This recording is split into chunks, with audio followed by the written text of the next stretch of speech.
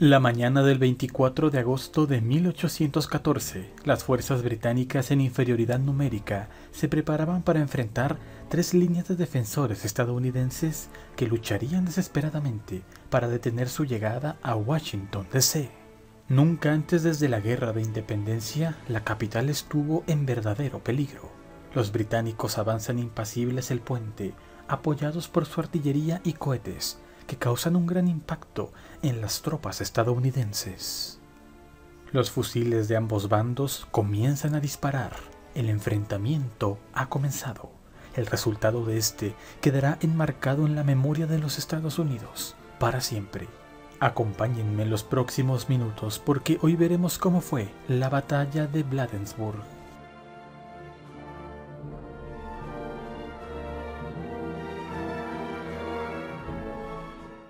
Recuerda que publico contenido todos los días. Dale like y suscríbete. Activa la campanilla para que recibas diario la notificación del programa correspondiente. La guerra de 1812 entre los Estados Unidos de América y el Imperio Británico comenzó por razones múltiples. Desde la perspectiva estadounidense, se trata de una respuesta ante la constante presión británica en el mar aunado a la captura de marineros estadounidenses forzados para servir en la Marina Real Británica, ya que los ingleses no reconocían a los estadounidenses como independientes, sino rebeldes que aún eran británicos y debían, por lo tanto, servir al imperio. Las restricciones comerciales británicas durante los últimos años de las guerras napoleónicas en el comercio marítimo de los Estados Unidos que era muy importante para ese país, eran inaceptables. Por otro lado, los británicos justificaban estas medidas, debido a que aún no reconocían la independencia de las trece colonias y se veían claramente amenazados por las pretensiones estadounidenses expansionistas hacia el este y sus colonias del Canadá británico.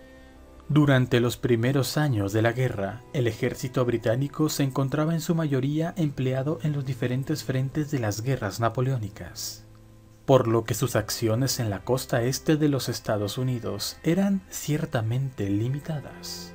Sus principales acciones se concentraban en su frontera norte con Canadá y apoyando activamente a las naciones indígenas, que se esperaba pondrían un freno a la expansión estadounidense de momento. A partir de la derrota y el exilio a Elba de Napoleón en 1914, el Imperio Británico pudo concentrar más tropas y recursos en su guerra contra los Estados Unidos. La mayoría de las tropas británicas se dirigieron a Canadá para liderar una contraofensiva hacia Nueva York, ya que anteriormente, en los primeros años de la guerra, las tentativas de ofensiva sobre Canadá para anexionarla resultaron en un rotundo fracaso. Solo la ofensiva contra York, la actual Toronto, tuvo un relativo éxito en 1812. En su ocupación, los estadounidenses terminan quemando el edificio del Parlamento. Esta ofensa no sería olvidada por los británicos. Los británicos lanzarían ataques a Baltimore y Washington, ya que la importancia simbólica de la capital y la importancia económica de Baltimore les hacían los objetivos primarios. Al enterarse de que las tropas británicas estaban en camino desde Europa, el presidente Madison convocó a su gabinete el primero de julio.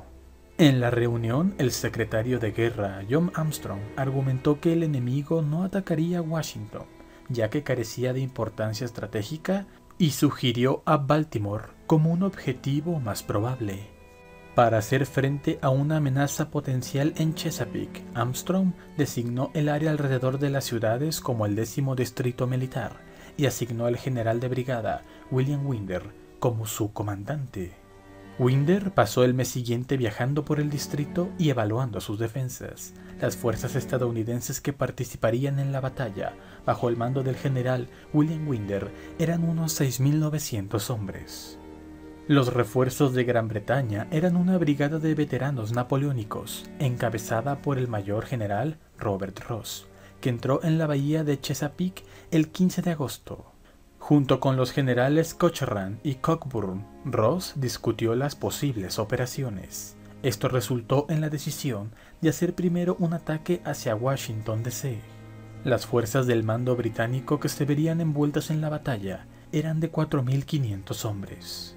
Al evaluar sus opciones, el general Ross eligió efectivamente avanzar sobre Washington desde el este, ya que moverse hacia el sur implicaría ubicar un cruce sobre la rama oriental del Potomac.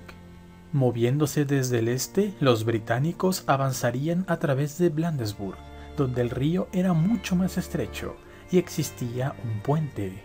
En Washington, la administración de Madison siguió luchando por hacer frente a la amenaza.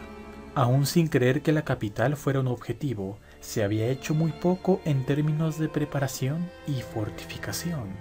Como la mayor parte de los soldados habituales del ejército estadounidense estaban ocupados al norte en Baltimore, Winder se vio obligado a depender en gran medida de la milicia recientemente llamada.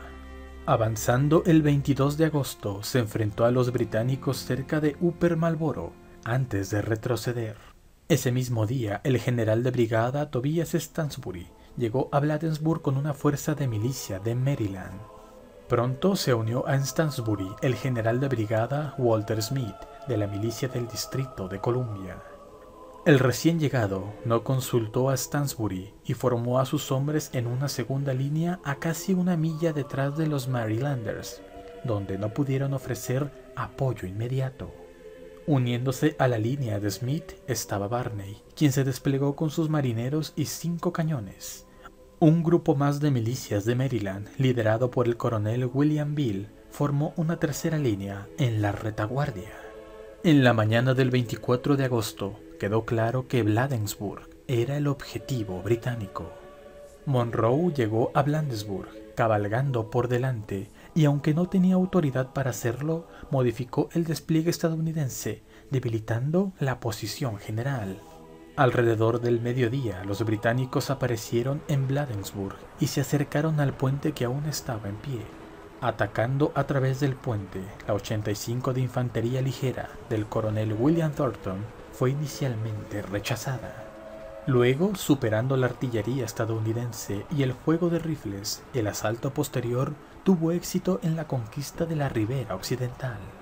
Esto obligó a retroceder a parte de la artillería de la primera línea, mientras que los elementos del 44 Regimiento de Infantería comenzaron a envolver a la izquierda estadounidense. Contraatacando con el quinto de Maryland, Winder tuvo cierto éxito antes de que la milicia en la línea, bajo el poderoso fuego de cohetes de la Combridge británica, se rompiera y comenzara a huir. Como Winder no había emitido órdenes claras en caso de retirada, esto se convirtió rápidamente en una derrota desorganizada con la línea colapsando, Madison y su grupo abandonaron el campo. Siguiendo adelante, los británicos pronto fueron atacados por hombres de Smith, así como los cañones de Barney y el capitán George Peter. El 85 atacó de nuevo y Thornton resultó gravemente herido con la línea estadounidense aguantando. Como antes, el disciplinado 44 de infantería comenzó a moverse alrededor de la izquierda estadounidense y Winder ordenó a Smith que se retirara. Estas órdenes no llegaron a Barney y a sus marineros, quienes se vieron abrumados en la lucha cuerpo a cuerpo. Los hombres de Bill en la retaguardia ofrecieron una resistencia simbólica antes de unirse a la retirada general.